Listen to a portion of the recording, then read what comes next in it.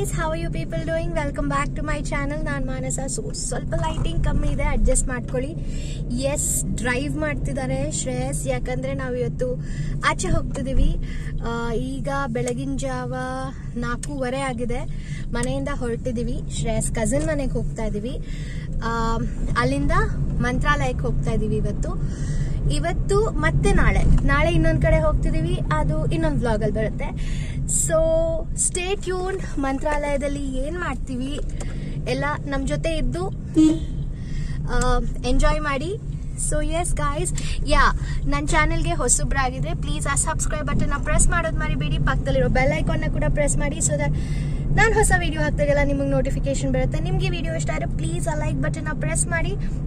And S ನನ್ನ ಮುಖ ನೋಡಿ, ಏನು ಅನ್ಕೋಬೇಡಿ, ತುಂಬ ನಿದ್ದೆ ಬರ್ತಾ ಇದೆ ನನಗೆ. ಸೊ ಎದ್ದು ಬೇಗ ಬೇಗ ರೆಡಿ ಆಗಿದ್ದೀವಿ. Good morning Shreyas. Yeah so yes guys ಈ ವಿಡಿಯೋ ಇಷ್ಟ ಆದರೆ ಲೈಕ್ನ ಪ್ರೆಸ್ ಮಾಡಿ. ಸೊ ಬನ್ನಿ ನಮ್ಮ ಜೊತೆ ಮಂತ್ರಾಲಯಕ್ಕೆ ಹೋಗಿ ಬರೋಣ.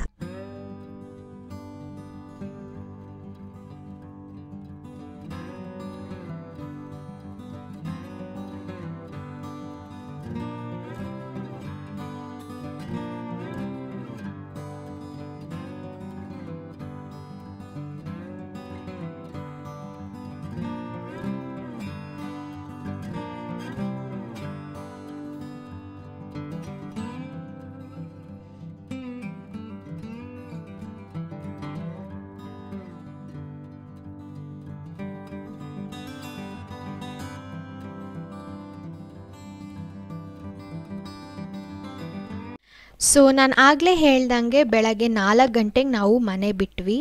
ಅಂದರೆ ನಮ್ಮ ಮನೆಯಿಂದ ಮಲ್ಲೇಶ್ವರಂಗೆ ಹೋದ್ವಿ, ಶ್ರೇಯಸ್ ಕಸಿನ್ ಮನೆಗೆ.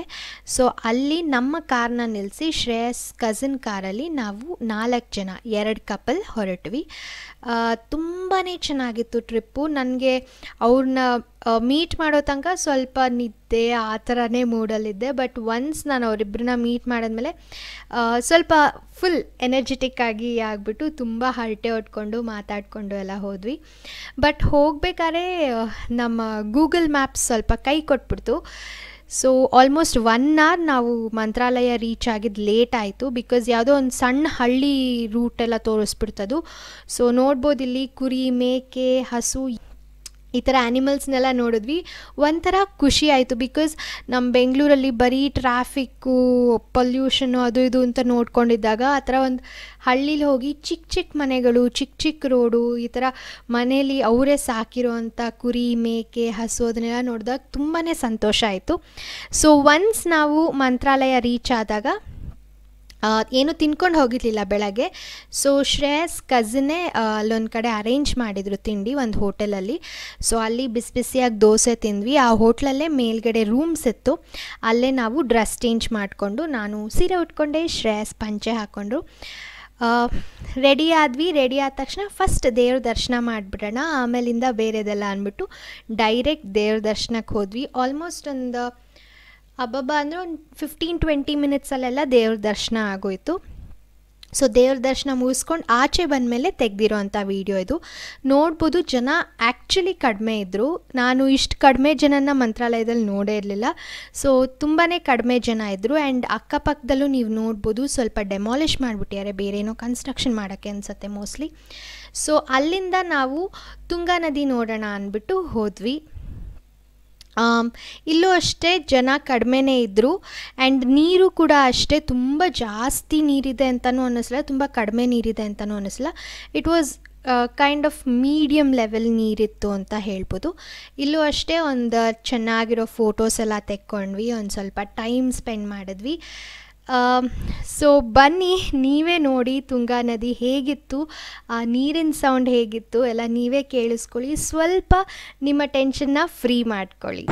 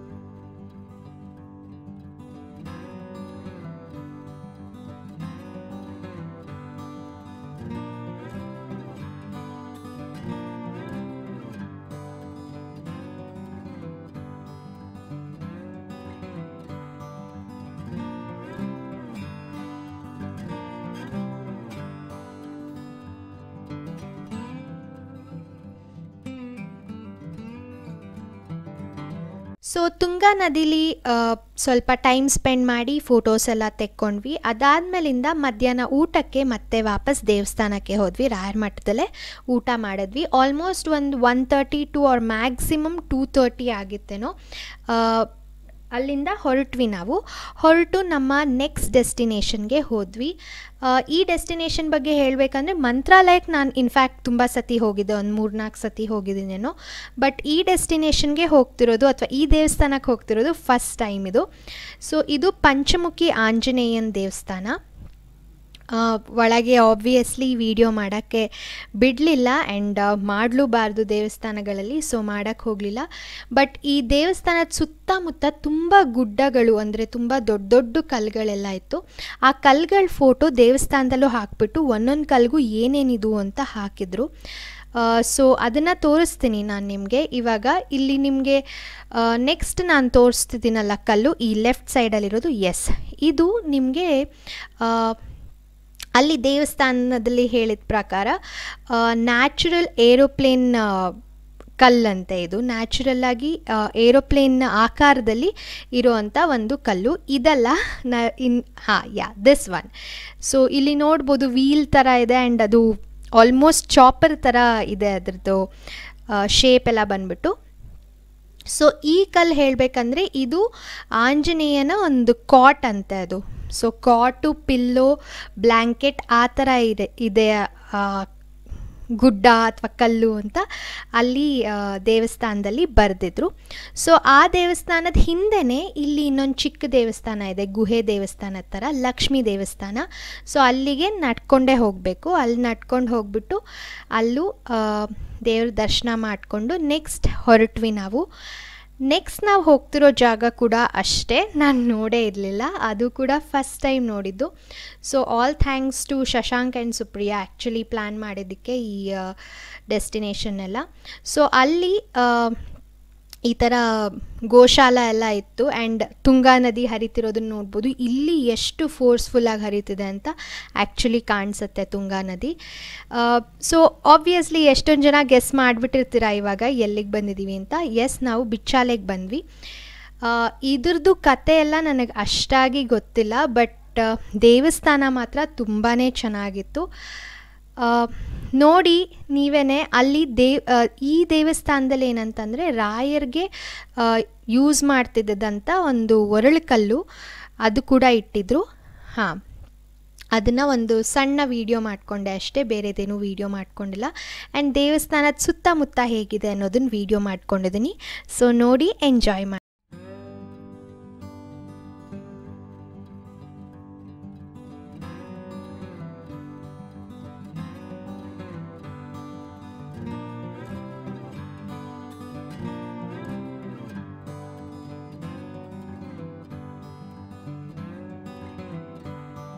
ಬಿಚ್ಚಾಲೆಯಲ್ಲಿ ದೇವರ ದರ್ಶನ ಎಲ್ಲ ಮುಗಿಸ್ಕೊಂಡು ಸ್ವಲ್ಪ ಆ ನದಿ ತೀರದಲ್ಲೇ ಟೈಮ್ ಸ್ಪೆಂಡ್ನ ಮಾಡಿದ್ವಿ. ಆಮೇಲಿಂದ ಮನೆಯವ್ರಿಗೆಲ್ಲ ವೀಡಿಯೋ ಕಾಲ್ ಮಾಡಿ ನದಿನ ತೋರಿಸಿದ್ವಿ. ಆಮೇಲಿಂದ ಆ ಜಾಗದಿಂದ ಹೊರಟ್ವಿ. ಏನೋ ಗೊತ್ತಿಲ್ಲ, ಹೊರಡೋ ಟೈಮಲ್ಲಿ ತುಂಬಾ ಮಳೆ ಶುರು ಆಗೋಯ್ತು ಬಟ್ ಆಮೇಲೆ ಇದ್ದಕ್ಕಿದ್ದಂಗೆ ಮಳೆ ನಿಂತೋಯ್ತು. ಸೊ ನಮ್ಮ ಪ್ಲ್ಯಾನ್ ಇದ್ದಿದ್ದು ಆ್ಯಕ್ಚುಲಿ ಇದು ಒಂದು ದಿನದಲ್ಲಿ ನಾವು ಕವರ್ ಮಾಡಿಬಿಟ್ಟು ಬಿಚ್ಚಾಲೆಯಲ್ಲೋ ಅಥವಾ ಮಂತ್ರಾಲಯದಲ್ಲೋ ಸ್ಟೇ ಆಗೋಣ ಅಂತ. ಬಟ್ ಒನ್ಸ್ ನಾವು ಈವ್ನಿಂಗ್ ಅಷ್ಟೊತ್ತಿಗೆ ನಮ್ಮ ಫಸ್ಟ್ ಡೇ ಪ್ಲ್ಯಾನ್ನ ಮುಗಿಸ್ಬಿಟ್ಟಿದ್ರಿಂದ ನಮ್ಮ ಸೆಕೆಂಡ್ ಡೇ ಎಲ್ಲಿ ಹೋಗಬೇಕು ಅಂತ ಅಂದ್ಕೊಂಡಿದ್ವು ಅದನ್ನು ಫಸ್ಟ್ ಡೇನೇ ಹೋಗ್ಬಿಟ್ಟು ಅಲ್ಲೇ ಸ್ಟೇ ಆಗೋಣ ಅಂತ ಅಂದ್ಕೊಂಡ್ವಿ ಸೊ ಸೆಕೆಂಡ್ ಡೇ ಪ್ಲೇಸ್ಗೆ ಫಸ್ಟ್ ಡೇನೇ ಹೋಗಿ ಸ್ಟೇ ಆಗ್ತಿದ್ದೀವಿ. ಸೊ ಹೋಗೋ ಟೈಮಲ್ಲಿ ಮಧ್ಯದಲ್ಲಿ ಸಂಜೆ ಟೀಗೆ ಅಂತ ನಿಲ್ಲಿಸಿದ್ವಿ ಅಲ್ಲಿ ತುಂಬಾ ಚೆನ್ನಾಗಿತ್ತು ಟೀ ಸೊ ಅವರಿಬ್ಬರು Shreyas cousin and Shreyas cousin's wife ತುಂಬಾ ಚೆನ್ನಾಗಿತ್ತು ಟೀ ಐದು ರೂಪಾಯಿ ಟೀ ಬಟ್ ತುಂಬ ಚಿಕ್ಕ ಚಿಕ್ಕ ಲೋಟದಲ್ಲಿ ಕೊಟ್ಟಿದ್ರು. ಕುಡ್ದಂಗೆ ಅನ್ನಿಸ್ಲಿಲ್ಲ ಬಟ್ ಟೇಸ್ಟ್ ತುಂಬ ಚೆನ್ನಾಗಿತ್ತು. ಸೊ ಅಲ್ಲಿಂದ ಮುಗಿಸ್ಕೊಂಡು ಮತ್ತು ನಮ್ಮ ಸೆಕೆಂಡ್ ಡೆಸ್ಟಿನೇಷನ್ ಏನಿತ್ತೋ ಅಲ್ಲಿಗೆ ಹೊರಟ್ವಿ. ಬಿಲೀವ್ ಇಟ್ ಆರ್ ನಾಟ್ ನಾವು ಆ ಡೆಸ್ಟಿನೇಷನ್ ರೀಚ್ ಆಗೋ ಅಷ್ಟೊತ್ತಿಗೆ ಆಲ್ಮೋಸ್ಟ್ ಟೆನ್ ತರ್ಟಿ ಲೆವೆನ್ ಆಗೋಗಿತ್ತು. ಲೆವೆನ್ ಲೆವೆನ್ ತರ್ಟಿನೇ ಆಗಿತ್ತು mostly but on the way ಹೋಗ್ತಾ ತುಂಬಾ ಹಶ್ವಾಗಿದ್ದರಿಂದ ಒಂದು ಹೋಟ್ಲಲ್ಲಿ ಕೂಡ ನಿಲ್ಲಿಸಿದ್ವಿ ಹೋಟ್ಲಲ್ಲಿ ನಿಲ್ಲಿಸ್ಬಿಟ್ಟು ಊಟ ಮಾಡಿದ್ವಿ. ಅದು ಯಾವ ಹೋಟ್ಲು ಅಂತ ಕೂಡ ನಾನು ಶೂಟ್ ಮಾಡಿದ್ದೀನಿ ಸೊ ಎಸ್ ಅದು ಶ್ರೀಕೃಷ್ಣ ವೆಜ್ ಅಂತ ಒಂದು ನಾರ್ಮಲ್ ರೆಸ್ಟೋರೆಂಟ್ ಟೈಪ್ ಇತ್ತು. ಸೊ ಅಲ್ಲಿ ಹೋಗ್ಬಿಟ್ಟು ಊಟ ಮಾಡಿಕೊಂಡು ನಮ್ಮ ಡೆಸ್ಟಿನೇಷನ್ಗೆ ಹೋಗೋಣ ಅಂತ ಹೊರಟ್ವಿ. ತುಂಬಾ ಲೇಟ್ ಆಗೋಗಿತ್ತು. ಸೊ ಜಸ್ಟ್ ಒಂದು ಹೋಟೆಲ್ನ ಬುಕ್ ಮಾಡಿ ರೂಮ್ಸ್ನ ತೊಗೊಂಡು ಸ್ಟೇ ಆದ್ವಿ. ಸೊ ಎಸ್ ರಾಜ್ ಹೋಟೆಲ್ ಅಂತ ರಾಜ್ ಯಾ ಹೋಟೆಲ್ ಅಂತ ಅಲ್ಲಿ ರೂಮ್ನ ಬುಕ್ ಮಾಡಿದ್ವಿ. ಸೊ ಎಲ್ಲಿ ಹೋದ್ವಿ ನೆಕ್ಸ್ಟು ಅನ್ನೋದನ್ನು ನೆಕ್ಸ್ಟ್ ಬ್ಲಾಗಲ್ಲಿ ತೋರಿಸ್ತೀನಿ. ಸ್ಟೇ ಟ್ಯೂನ್ ಬಾಯ್